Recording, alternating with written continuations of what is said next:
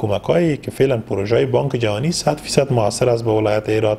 فعلا ما پروژه سب استیشن پلاشیمی داریم که از طریق بانک جهانی تمویل میشه. در حدود 8 میلیون دلار است که او سبستشن تکمیل میشه تمویل میشه. پروژه دیگی هم وجود داره که لاین ترانسمیشن لاین بین ترانسفر سبستشن نور جهاد الی سبستشن پلاشمی پلاشمی الی شندن شندن الی فرا این پروژه است که فعلا توسط بانک جهانی همچنان یک از قسمت ها به نام قریجات دیشیخ پروانه میگه.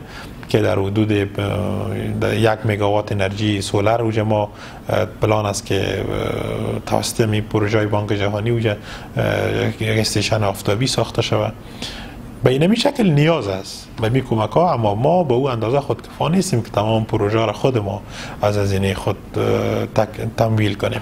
در یک قسمت از این پروژه که فعلا انرژی سولر داریم 25 میگاوات و 25 میگاوات هم ویند داریم.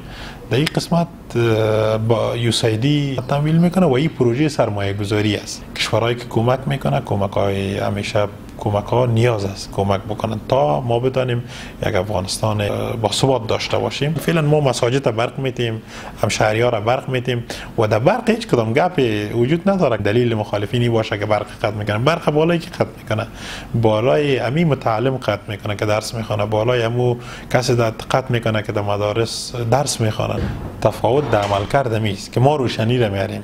هر کسی که تاریکی را میاره جهل نادانی را میاره